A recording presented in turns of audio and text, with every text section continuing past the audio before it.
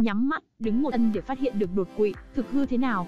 Sau sự ra đi đột ngột của danh hài trí tài vào chiều 9 tháng 12, hàng loạt các trang mạng xã hội chia sẻ thử thách nhắm mắt, đứng để phát hiện đột quỵ, thực hư ra sao? Nhiều trang mạng đã chia sẻ về thử thách của danh hài trí tài về chuyện nếu giữ thăng bằng không tới 20 giây sẽ tiềm ẩn nguy cơ đột quỵ và nhận được hàng ngàn lượt chia sẻ của người dùng. Phó giáo sư tiến sĩ Nguyễn Huy Thắng, Chủ tịch Hội đột quỵ thành phố Hồ Chí Minh, cho biết phong trào đứng giữ thăng bằng một chân này xuất phát từ nghiên cứu tại Nhật Bản, công bố trên tạp chí Stroke Journal năm 2014. Nghiên cứu bao gồm 1.400 người có độ tuổi trung bình 67 tuổi. Kết quả cho thấy việc không thể giữ thăng bằng với một chân quá 20 giây có liên quan đến việc suy giảm nhận thức và các tổn thương não không triệu chứng do tổn thương mạch máu nhỏ. Về mặt khoa học, các tổn thương do mạch máu nhỏ này chưa thể được xem là đột quỵ não thực sự mà chỉ đơn thuần phản ánh tình trạng sơ vữa mạch máu nhỏ, mà gần như không thể tránh khỏi khi con người trên 60 tuổi, đặc biệt nếu đi kèm với bệnh nền tăng huyết áp hay đái tháo đường. Để giữ được thăng bằng, chúng ta cần não, hệ thống thị giác và cả hệ cơ xương khớp. Theo Ivan, có đến một trên ba người trên 65 tuổi có thể bị té ngã do mất thăng bằng, nguyên nhân do mắc phải một hay do mắc phải một hay nhiều khiếm khuyết về mặt chức năng trên. Ngoài ra trọng lượng cơ thể và sự tập luyện cũng ảnh hưởng rõ rệt đến khả năng này, ông Thắng cho biết. Tuy nhiên, theo ông Thắng, nghiên cứu trên chỉ thực hiện trên một nhóm dân số lớn tuổi 67 Nhật Bản có kèm theo nhiều bệnh nền, không được khảo sát khả năng này trước đó. Do vậy, để nâng lên mức khuyến cáo cần phải kiểm định lại trên các nhóm dân số khác ngoài Nhật Bản. Những người có mắc các bệnh lý nền như đái tháo đường, cao huyết áp là nhóm đối tượng có nguy cơ mắc đột quỵ cao và việc tầm soát các bệnh lý nền chính là cách phòng ngừa đột quỵ tốt nhất. Nhóm đối tượng sử dụng rượu bia, thuốc lá cũng là những người có nguy cơ đột quỵ cao, chính vì vậy không quá lạm dụng rượu, bia và thuốc lá, theo ông Thắng. Bác sĩ Thắng khuyến cáo thêm hiện nay trên thị trường có rất nhiều thực phẩm chức năng được quảng cáo như thần dược, phòng ngừa đột quỵ.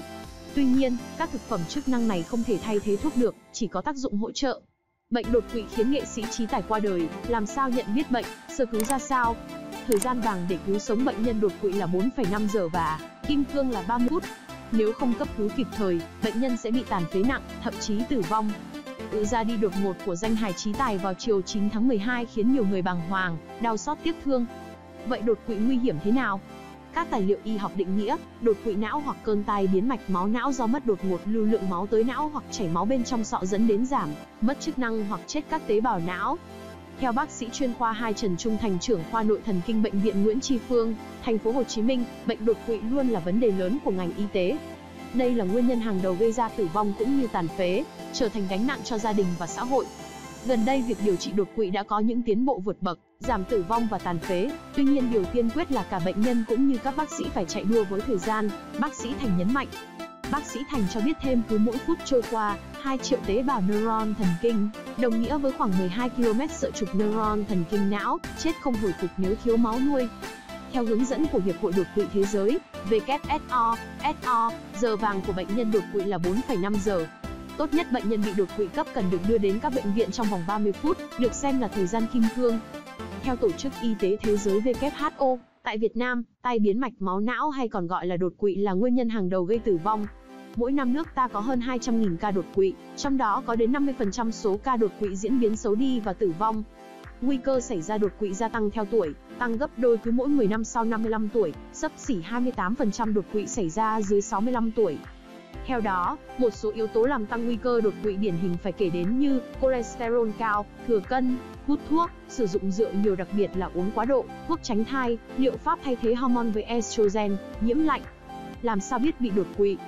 Các bác sĩ bệnh viện Nguyễn Tri Phương cho biết ít nhất một trong ba nhóm dấu hiệu sau xuất hiện đột ngột thì nguy cơ bị đột quỵ từ 90 đến 95%, đó là dấu hiệu FAST. 1. Liệt mặt phây, miệng bị lệch sang một bên, mũi má mờ. 2.